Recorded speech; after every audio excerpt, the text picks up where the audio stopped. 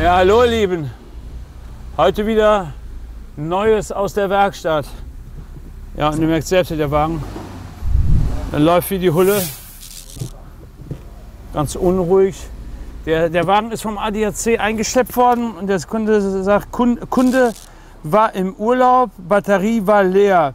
ADAC war da, jetzt läuft Motor unrund. Vorher war alles IO. Ja, ADAC hat das wohl ausgelesen, das zeigt wohl Verbrennungsaussätze an. Und ich habe mir jetzt gerade wirklich Starthilfe, äh, Starthilfe geben müssen, weil die Batterie auch wirklich äh, Matsche ist sehr wahrscheinlich. Okay, kann auch passieren, wenn man im Urlaub ist, eine längere Zeit, dass dann da äh, Batterie sich entlädt. Keine Ahnung, sieht aber auch schon aus, als wenn die etwas älter ist, die Batterie. Also ich würde sagen, wir gehen jetzt erstmal die normalen Steps. Na, die Batterie müssen wir jetzt erstmal laden. Ne? Die Batterie erstmal vorher laden, bevor wir die Batterie testen können, aber vermutlich wird die, wird die Batterie kaputt sein. So, ähm, dann lassen wir einfach hier unser Startgerät dran. Jetzt die Batterie testen können wir immer noch nachher. Hallo zusammen, nicht wundern, Hans-Jürgen ist im Urlaub und es ist trotzdem wieder Tech Talk Zeit. Hallo zusammen, in zwei Tagen ist es soweit, der Male Tech Talk. Ich bin natürlich auch dabei, ganz klar. Noch bin ich im Urlaub, bin aber zeitig zurück. Wir sehen uns, seid mit dabei. Bis dann, tschüss. Am 24. Oktober um 19 Uhr im Fabuka YouTube-Kanal. Einfach einschalten, anmelden, wie ihr wollt. Schaut rein, 19 Uhr gehen wir auf jeden Fall on. Wir haben super Themen. Fabuka und äh, Male haben sich ein super Programm einfallen lassen. Zum einen geht es hier um den Charger und dem E-Health Charger.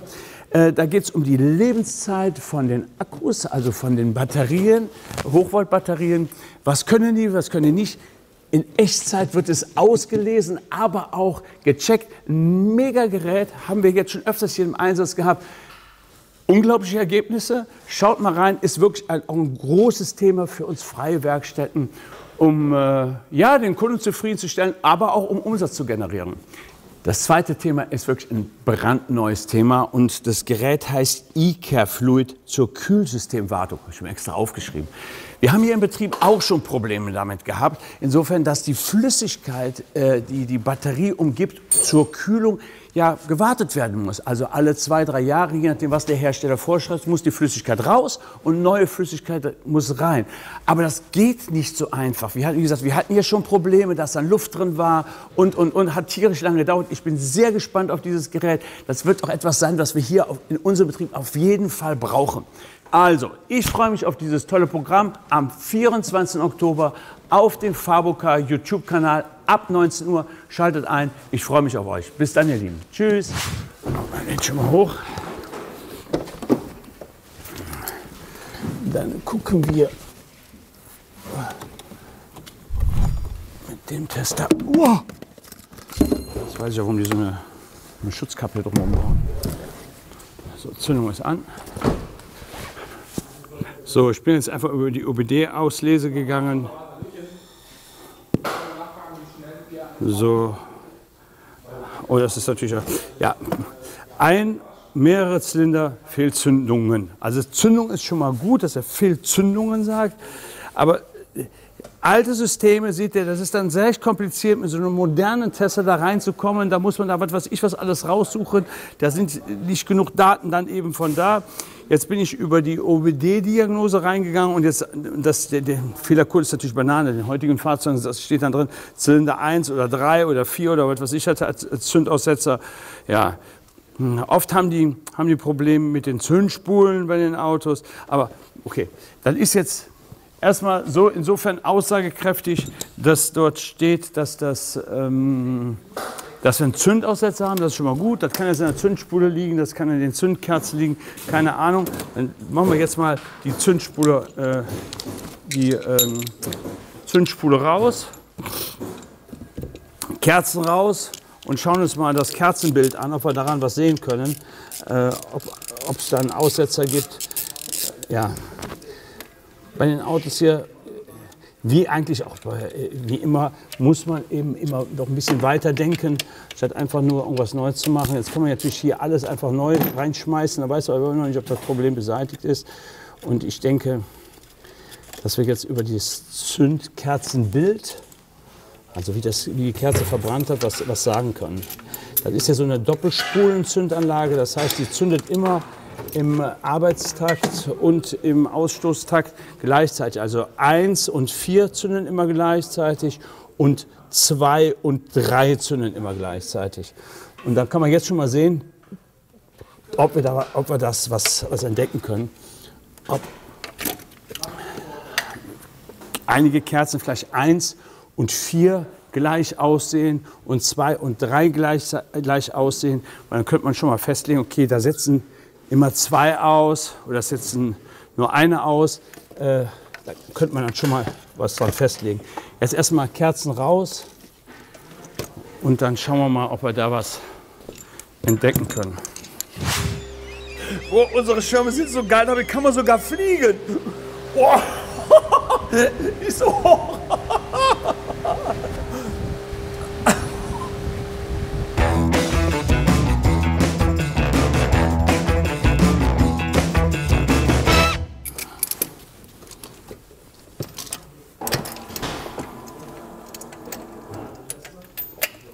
Ich habe die jetzt gelöst. Ich löse die Kerzen jetzt und dann gehe, gehe ich jetzt gleich mit dem Magneten, hole die raus und dann können wir dann direkt eine, kann man direkt was dazu sagen.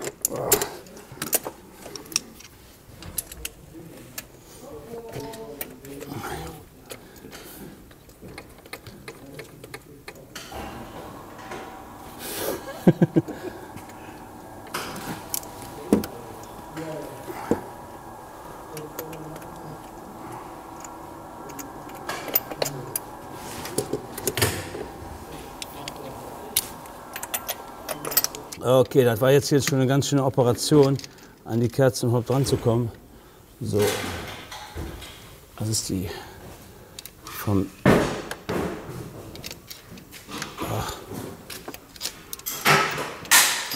Okay, ist doch nicht lose. Oh Gott.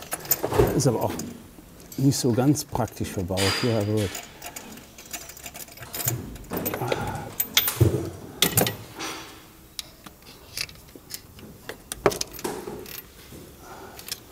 So, machen wir mal hier ein Ding. Drei.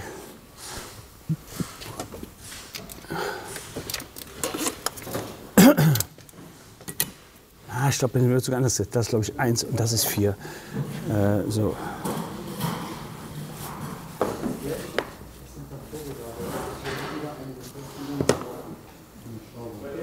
Jo, da kann man voll was sehen. Guck mal. Hier die von 1 und vom vierten Zylinder, 1 und 4. Die sind schwarz.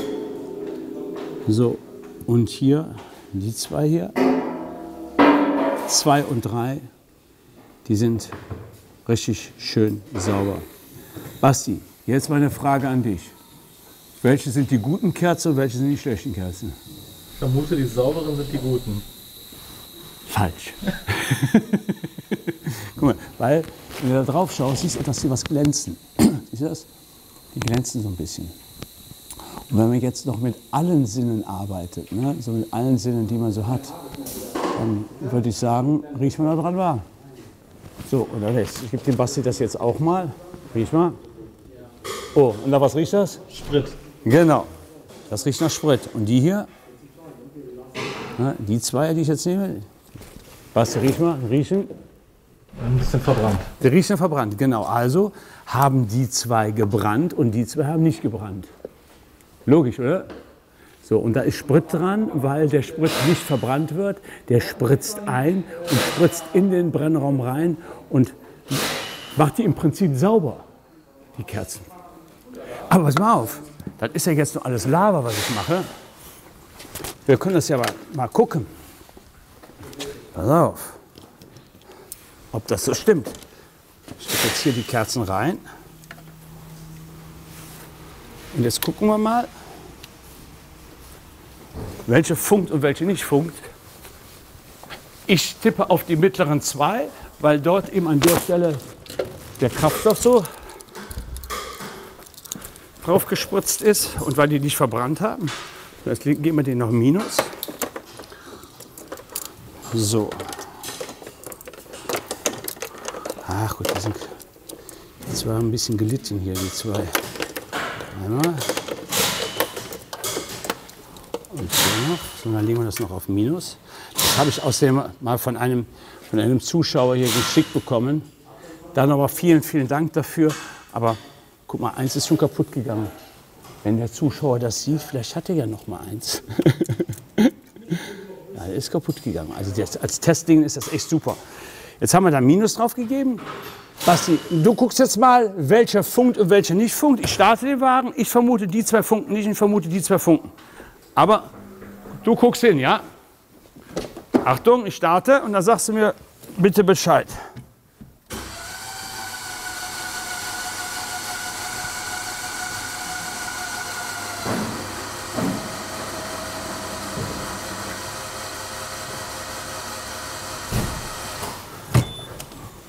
Und?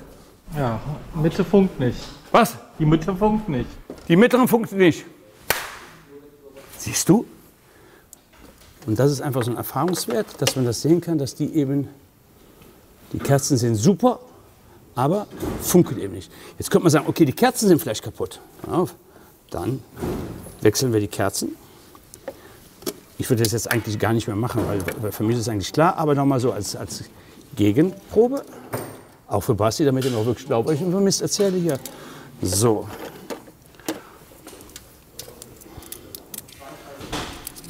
Jetzt müssten ja die Äußeren auch wieder funken. Ne? So, da haben wir noch genug Saft hier drauf. Ja. Also, ich starte.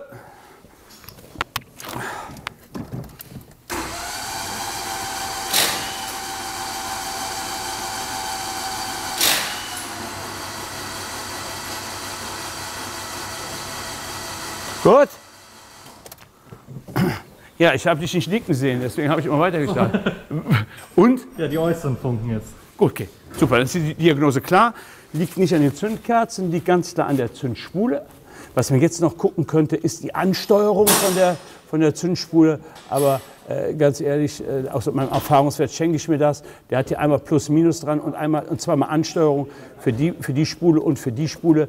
Ich äh, gehe da mit einer mit einer Wahrscheinlichkeit von 99 Prozent davon aus, dass die Zündspule ist, einfach aus Erfahrungswert her. Und den Prüfschritt spare ich mir jetzt. Gut, jetzt rufen wir die Kundin an, fragen, ob sie das reparieren lassen möchte und äh, machen einen Kostenvoranschlag. Okay, was haben wir noch? Den tun wir jetzt raus, den Wagen. Der Robin hat noch einen Wagen. Ziemlich interessant. Äh, ein Auto, was jetzt in, in 1000 Werkstätten war, in 1000, ein paar Werkstätten war, ist irgendwie schon zweieinhalbtausend Euro reingeflossen. Und äh, ja, die haben ja jetzt Kostenvoranschlag gemacht, sagen, das ist ein Motorschaden und nicht und wollten von uns eine Zweitmeinung haben. Die holen wir jetzt, jetzt mal rein und dann äh, machen wir das mal zusammen mit Robin. So, hier haben wir Einen schönen BMW X3. Genau, der aus äh, relativ weit weg aus Göttingen hier hinkommt, weil er eine riesen Geschichte hat. Und diese Geschichte Wirklich eine Riesengeschichte. ist, äh, ist, ist so dick. Also so, das geht uns relativ oft, dass Fahrzeuge hier hinkommen, die schon eine unglaubliche Geschichte haben, die schon viel Geld bezahlt haben. Kommt mal mit an den Kofferraum hinten, was da alles so an Teilen drin liegt. Oh, ich hole sie mal nach vorne, warte. Ja, genau, genau, Kopfraum, lass du drin. So, und diese Geschichte, dann kommen die Autos hier hin, weil die Leute nicht nur viel, viel Geld ausgegeben haben, ich glaube, der hat zweieinhalbtausend Euro bis jetzt Ja, ausgegeben. zwei oder zweieinhalb, irgendwie sowas in der So, Richtung. äh, Wegen dem gleichen Fehler wohl bemerkt. Ne? Ja, also und die natürlich auch total unglücklich sind und gar nicht mehr wissen, was sie machen sollen. Und da spielt das Geld äh, auch eine Rolle, aber die wollen, will will einfach geholfen werden. Sie sollen, wollen geholfen werden, die Leute. Und sie sind ja total ein verzweifelt. schönes Auto und die Kunden sind sehr zufrieden eigentlich damit. Der fährt super. Hat halt nur das Problem, dass er zeitweise, so ist es angefangen, ähm, im Leerlauf unrund läuft und auch ausgeht. Das heißt, man fährt an die Ampel dran, kuppelt aus, zack, Motor aus. Starten, springt direkt wieder an. Er setzt dann im Fehlerspeichereintrag einen Luftmassensystemfehler. Das ist so das Einzige, was er setzt. Und dann ist das losgegangen mit ähm, Luftmassenmesser, neu, dann einen originalen Luftmassenmesser rein, weil sie gedacht haben, ah, okay, war jetzt einer aus dem Zubehör, obwohl das absolute Erstausrüsterqualität ist. Ähm, vielleicht haben wir da irgendwo ein Problem, dann ist das mehrfach auf Falschluft gesucht worden, die Ansaugbrücke raus, die beiden Dieser-Klappen neu. Das sind so Steuerklappen, die im Saugrohr sitzen, um lange und kurze Saugwege halt zu schalten, zu realisieren. Eine neue Drosselklappe, Stellventile, Zündkerzen, Spulen, Warnaussteller, was wir hier alles Mögliche drin haben. Druckregelventile, neuer Zylinderkopf, äh, neue Zylinderkopfdichtung ist draufgekommen. Ähm, ähm, Zylinderkopfdichtung? Nein, nein, nein, ähm, Ventildeckel, so Zylinderkopfhaube, das wollte ich sagen. Neuer Ventildeckel, weil ähm, da auch ein Druckregelventil drin sitzt, was auch zu so einem Luftmassensystemfehler führen kann. Ähm, ein neuer Positionssensor für die Exzenterwelle von der Vanos-Verstellung. Ähm, von der Valvetronic-Verstellung, nicht Vanos, so, weil das Auto hat beides. Wir haben ja bei dem einmal eine variable Stellung für die Steuerzeiten, für die Vanos. Das heißt, wir haben Stellräder vorne auf den Nockenwellen drauf sitzen, womit die Steuerzeiten früh und spät verstellt werden können, dynamisch über das Fahrzeug. Und die Valvetronic, das ist ein Stellantrieb, der den Ventilhub, also wie weit das Einlassventil aufgeht vom Weg her, steuern kann, damit wir eine bessere Luftversorgung im Zylinder haben. Davon ist der Positionssensor erneuert worden, weil da die Vermutung wohl bestand, dass es damit zu tun hat, obwohl wir dazu nichts im Fehlerspeichereintrag drin hatten. So, dann rief der Kunde Ja. an, ja, das sind die Magnetventile. So ein Magnetverliere von der Nockenwellenverstellung. Ja, genau, richtig. Die sind beide neu gekommen. Und es hat nichts an diesem Fehlerbild gebracht. Ein Drucksensor haben sie auch nochmal neu gemacht hier von der Ansaugbrücke. Und der Fehler ist immer gleich geblieben. Ja, jetzt sind wir mit dem Auto gefahren, konnten das auch tatsächlich nachvollziehen und ersetzte auch diesen Fehlerspeicher. Aber die Tücke dabei ist, dass man an den Parameterwerten so überhaupt nichts sieht, weil die Leerlaufdrehzahl anfängt zu tänzeln, hoch und runter geht. Und dann gehen logischerweise auch die ganzen Druckwerte hoch und runter. Die Drosselklappe geht auf und zu, sodass man überhaupt gar keinen Anhaltspunkt hat. Das ist der Nockenwellensensor. Die haben sie auch beide neu gemacht. Auch beide neu. Aber damit zweieinhalb hinkommen, ist noch eine große Frage. Das ist Wahnsinn, ne? Ja. Dann haben sie nochmal den, das finde ich ja auch so ein, hatte so ein die, Stück, was, ja, erzähl ruhig. so ein krasses Stück, dass sie dann halt nochmal einen originalen Luftmassenmesser verbaut haben, mit einem Stutzen noch dabei. Und ja, der Kunde sagt, er wüsste jetzt einfach nicht mehr, wie es weitergeht. Der Kunde hat sich jetzt Und- mittlerweile alle Daten schon selbst aus dem Netz rausgezogen, hat das gebunden und, und weil er einfach nicht mehr weiß, was soll er tun.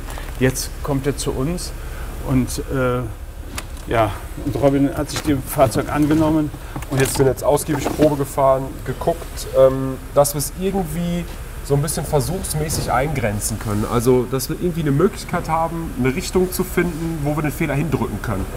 Ein paar Systeme außer Betrieb nehmen, eventuell was versuchen, den Fehler zu provozieren, Ja. um den in eine Richtung zu drücken. Und das haben wir auch geschafft. Ähm, ich konnte nämlich eins nachvollziehen. Wir gehen mal wieder am besten nach vorne. Der hat auch noch gar nicht viel gelaufen. Der hat erst 100.000 gelaufen. oh, das, das reicht doch für nicht- den BMW eigentlich, oder? Ja, es ist eigentlich keine Laufleistung, gerade für einen Sechszylinder. Wir haben jetzt hier ähm, oben im Ventildeckel oder unter Ventildeckel diese sogenannte Exzenterwelle drin für diese Valvetronik, also variabler Ventilhub. Da ist der Stellmotor, den der Holger gerade anpackt. Das ein Schneckenmotor, der die Welle, die Exzenterwelle rein und raus fährt. Und der Motor ist auch schon neu gekommen. Den haben wir auch schon neu gemacht. Und es ist tatsächlich so, äh, wir lassen ihn jetzt gerade mal ein bisschen warm laufen, damit er diesen Fehler gleich macht. Und dann fängt er an zu tanzen mit der Leerlaufdrehzahl und läuft echt super unschön. Und ähm, wenn man hingeht und diese Valvetronik außer Betrieb nimmt, das heißt den Stellmotor abzieht und die voll aufdreht, dass der auf Vollanschlag steht, dann konnte ich den Fehler nicht mehr nachvollziehen. Und das ist schon mal ein Hinweis, womit wir sagen können, okay, da haben wir auf jeden Fall ein Thema, was irgendwas mit dieser Verstellung zu tun haben muss. Der Motor ist auch wieder defekt. Der hat einen Kurzschluss nach Masse. Das kann man messen, indem wir einfach die Wicklungen gegen das Gehäuse prüfen, eine Widerstandsmessung machen. Und da darf nichts im Mega oben, nichts im Kilo oben Bereich, da darf gar nichts sein. Das ist ein bekanntes Problem bei diesen Motoren. Und das ist auch Erstausrüsterqualität, die da eingebaut worden ist. Und der ist halt wieder kaputt. Und da muss es einen Grund für geben, warum der wieder kaputt gegangen ist. Und du sagtest, wir haben noch so einen Motor da. Wir haben noch einen Motor da. Ich gucke gleich nochmal genau im Lager, ob die wirklich die Teilnummer ist. Ich meine, wir hätten noch einen liegen. Dann lass uns doch mal so machen, dann warten wir jetzt einen Momentchen ab, bis ihr die, die, äh, die Temperatur hat, damit ihr das auch mal nachvollziehen könnt, was der Wagen für ein Problem hat. Und der nächste Step wird dann sein, dass wir den Motor rausbauen, den, machen den anderen Motor rein. Step by Step ist, das wird erstmal warm laufen. Genau. Ja. Hat jetzt gerade hat er schon ein paar Mal Fehler gemacht, kann man hier auch sehen, dass, die, dass der Wert im Prinzip von der Valvetronik wieder, wieder die nachstellt. So, hier ist aber nichts mehr, ne? Ja, dauert manchmal so ein bisschen. Müsst vielleicht noch mal einen kleinen Gasstoß geben. Meistens so in zwei Minuten. Also das ist schon Jetzt, da, jetzt, da, jetzt. Da, da. Und jetzt stellt die hin und her, ne? Jetzt stellt die hin und her, versucht das irgendwie dann. Jetzt kann man natürlich schwierig sehen, ob er das jetzt versucht auszuregeln oder ob das der Grund ist, warum er das macht. ne? Das ist natürlich jetzt schwierig zu sagen, weil man das zeitlich nicht richtig abstimmen kann. Was man auf jeden Fall schon sieht, ist, dass wir, das ist nicht viel, das habe ich schon schlimmer gehabt, hier diese Differenz zwischen den Digitalwerten, wenn ihr mal da unten hinschaut. Das ist ja einmal der Wert, der vorgegeben ist und einmal der Wert, den er anfährt über den Sensor. Dass es auch ziemlich unruhig ist und dass wir da einen leichten Versatz auch zwischen haben. Ähm, das gibt schon so einen faden Beigeschmack, wenn wir auch wissen, dass der zweite Motor jetzt schon wieder kaputt ist. Ist die Vermutung nahe, dass die Welle hier oben schwergängig ist und dass das halt nicht richtig arbeitet von der Verstellung Ja, her. vor allen Dingen, weil der, der neue Motor ja jetzt auch schon wieder eine Macke hat. Was? Genau. Dann Tropfen drauf. So, jetzt wieder schön für alle Zuschauer da hinten. Wunderbar. So, jetzt fängt wieder an. geht das halt los. Und das wird halt immer schlimmer. Und wenn einem das genau passiert, wenn man an die Ampel fährt, zack, ist er direkt aus. Und der Kunde sagte auch, die werden einmal zur Ostsee in Urlaub gefahren, standen im Stau und andauernd, zack, aus, wieder neu starten, aus. Das ist natürlich keine Fahrerei, ne? überhaupt nicht. Okay, Ähm, Gut. dann ist jetzt unser Ansatz. Wir Genau. machen den. Könnt jetzt auch mal hingehen, den Motor hier abziehen. Dann soll, wenn man jetzt einen Neustart macht, die eigentlich in der Grundeinstellung stehen, die Valvetronik. Das heißt voller Ventilbug. Und dann macht er den Fehler nicht mehr. Ich bin jetzt ausgiebig Probe gefahren mit dem Auto und ist nicht mehr nachvollziehbar. Tritt nicht mehr auf. Ne? Okay, dann würde ich sagen, halt- Jetzt müssen wir einmal Neustart machen, dass der in den Endanschlag geht oder er ist hängen geblieben. Warte mal, ja, guck, er hat jetzt kurz noch was gemacht, aber er hat nicht nachgeregelt. Ne? guck mal, nimmt gar kein Gas an. Nimmt überhaupt kein Gas an jetzt. Nochmal einmal gerade einen Neustart. Kann sein, dass die jetzt schon hängen geblieben ist, die Valvetronik.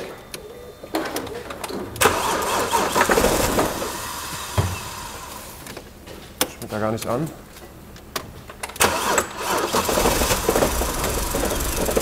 Nimmt überhaupt kein Gas an. Pass auf, ich mach den noch mal drauf, den Stecker. Ja, du kannst es auch händisch aufdrehen, ne? Oh, der zieht überhaupt nicht. Warte mal, steck mal nicht Ich habe drauf. jetzt wieder draufgesteckt. Mach noch mal Zündung aus.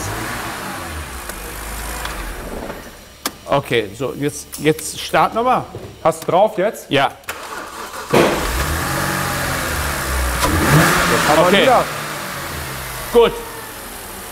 Dann würde ich sagen, mach mal aus. Ich ziehe den Stecker ab. So, und jetzt starte noch mal bitte. Lass mal bitte. Ich habe jetzt Vollgas gerade, ne? Er zieht überhaupt nicht durch. Das, man- das, das heißt, er steht jetzt irgendwo Ist fest. hängen geblieben, ja. Vermute ich fast. Wir können jetzt hingehen und mit einem Vierer Inbus hier hinten den Motor drehen, die Welle. Und wenn wir den jetzt aufdrehen, müsste er eigentlich wieder durchziehen. Jetzt können wir mal gucken, ob der im Endanschlag steht, was er eigentlich müsste. Das Ja, also ne, dass, dass, Vierer dass die. Welle jetzt irgendwie festhängt, deswegen nimmt er überhaupt kein Gas und jetzt drehen wir den im Prinzip mechanisch mit dem, äh, mit dem Imbus ist so in die. Richtung und dann gucken, ob er dann Gas annimmt. Dann wäre das das klare ist Zeichen dafür, dass er hängen geblieben ist. Ich weiß jetzt nicht genau, Welche Richtung? welche Richtung, das sehen wir jetzt. Kann auch sein, dass wir jetzt gleich... Also in die Richtung geht auf jeden Fall gut zu drehen. Und in die Richtung auch. Aber die Drehzahl verändert sich. Wird jetzt... Ach guck mal hier, geht der Wert hoch, ne? Ja. Ja, der ist auf jeden Fall... Steht in der Mittelposition, der ist in keiner Endposition. So müsste ich ihn eigentlich aufdrehen. Ja, guck mal, da kannst du auch sehen, wie der Wert sich verändert. Ja. Ne? Ja. So, und jetzt drehst du komplett, dass die, kommt, der der, der Hub ganz, aufgeht, ganz ne? auf ist. Und dann müsst ihr auch eigentlich wieder Gas annehmen. Müsste auch Gas annehmen, ne? Und dann schon mal nicht geil.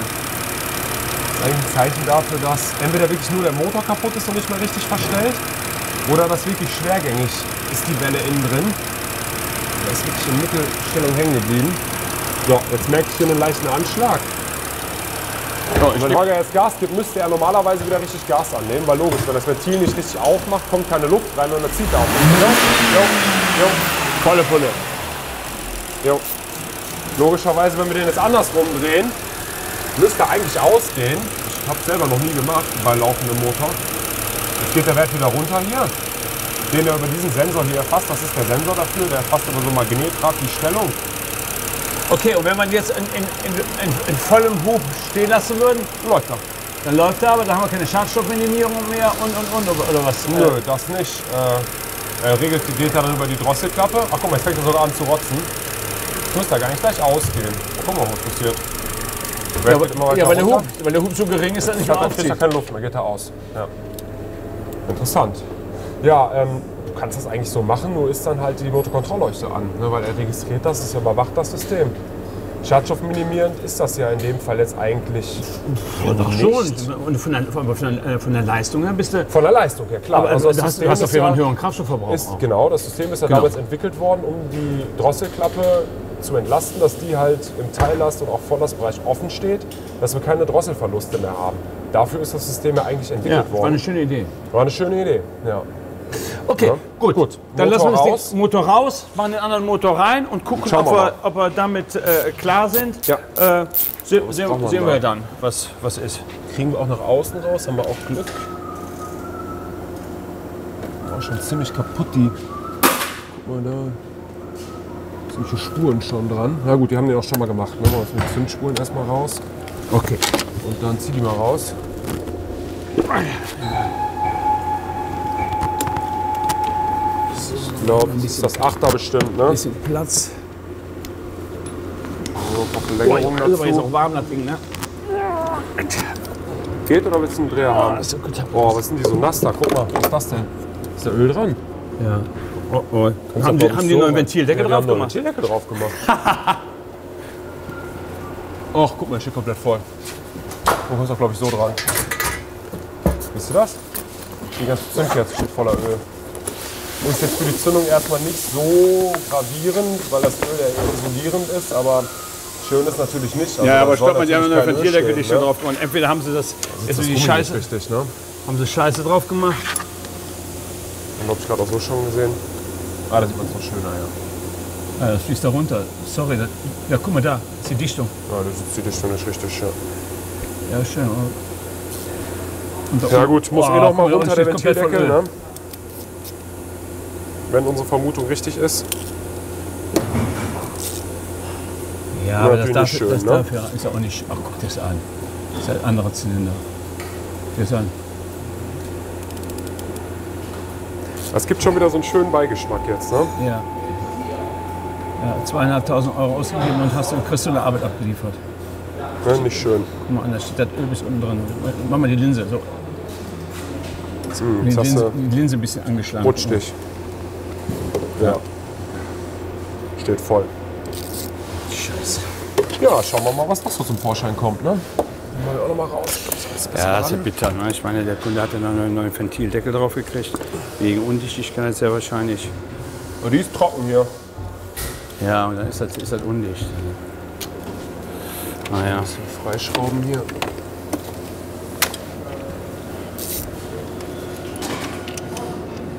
Richtig. Jawohl. Jetzt hier unten eine Schraube, da zwei Schrauben. Aufpassen bei den Motoren, wenn man die wechselt. Die haben jetzt auch das Glück, dass der sowieso von außen geht. Bei manchen muss der Ventildeckel runter. Man weiß nie so genau, in was für einer Stellung die jetzt stehen geblieben ist. Normalerweise soll die halt in einer, in einer gewissen Stellung stehen bleiben. Oder bleibt in einer gewissen Stellung stehen. Kommt immer so ein bisschen drauf an. Ja, wir haben sie ja jetzt den- sowieso verändert. Genau, wenn man den jetzt rauszieht und da ist Druck hinter und wir machen den los, dann kann das sein, dass die, das Schneckengetriebe, was da drin ist, über die Welle drüber springt. Das darf nicht passieren, weil da ein bisschen Power hinter ist. Und dann äh, kann das beschädigt werden. Das heißt, immer zurückdrehen, wenn die Möglichkeit besteht. Und die Verschraubung halt langsam. Oh. War aber nicht so wirklich fest hier hinten. Was? War nicht so richtig fest, die Schraube irgendwie. War ganz, ganz lose. Ja, ich meine, Schraube los. Ist warm? Nö. Schön, wie der Schmerz nachlässt, oder?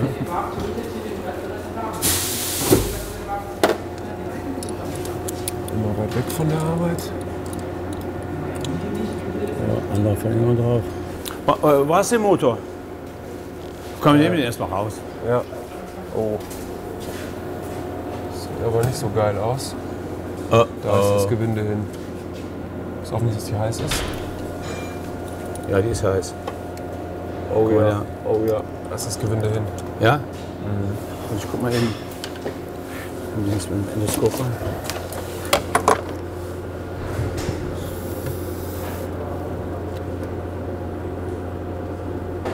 Äh, versetzt. Zeig mal her.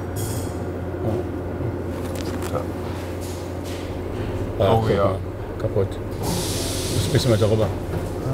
So. Ja. Oh. Oh, boy. Hat schon richtig Späne geschmissen da hinten.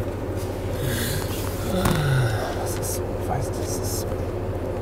Das hat ja jetzt nichts mit Schimpfen zu tun, oder? Wie mit Schimpfen. Ja, über andere. Ja, macht euch selbst eure Gedanken. Ja. ja der, der war gut Spruch, ja. Ah, kann ich mich wieder schwer zurück.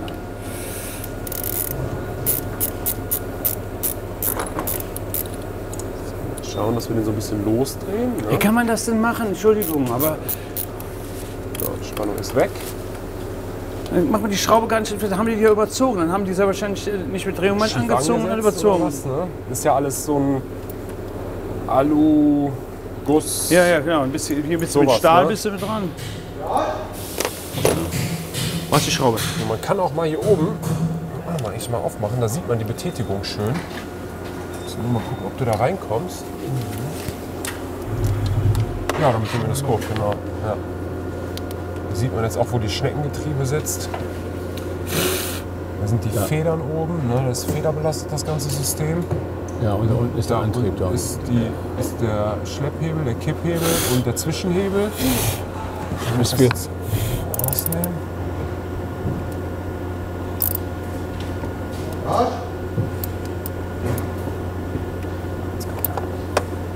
Boah, ich muss mal gerade Handschuhe. Das ist so heiß, das Ding. Ah, da ist jetzt ein bisschen viel Nebel da drin. Ölnebel. Kann man nicht. Mal gucken, ob wir da den Antrieb sehen. Sehen wir aber auch, glaube ich, gleich noch mal schön, wenn der raus ist, dass man noch mal sehen kann, wie die verstellt. Weil wir haben das auch schon mal gezeigt. Mein ich. So, da ist er. So. Warte mal, drehen wir Licht drauf. Das ist der Halbmond dafür. Boah, da sind aber gut Spuren drauf. Wo? Holla, guck mal hier. Oh, voll die Kitchen auf. Guck mal. Du meinst, wie der Halbmond aussieht? Ich ahne Böses. Und so viel Kitchen drin. Das ist schon ein Zeichen dafür, dass die Welle sich eingearbeitet hat. Und man sieht auch hier so richtige Schleifspuren. Dass das da ziemlich hell ist. Oh oh. Guck mal, da unten siehst du auch die Kitchen da. Ja? Da siehst du drauf. Siehst du da die Kitchen? Zeig dir mal. Oh ja. An den Stellen. Da. Da. Richtig eingearbeitet. Mal, können wir da vielleicht. Bist du da so mit der Kamera dran oder mal ein Foto vielleicht von machen, dass man das besser sieht?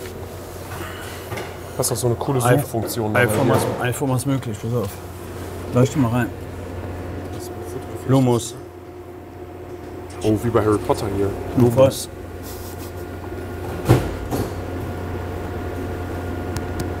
Nee, dann geht die aber aus. Lass mich mal. Ich glaube, ich kann das mitmalen. Oh ja. Oh ja, hier guck Oh, mal. das ist noch viel besser. Boah. Alter. Welle. Guck mal hier. Das ist jetzt hier. Das ist also so, so sollte es normalerweise hier oben aussehen. Ne?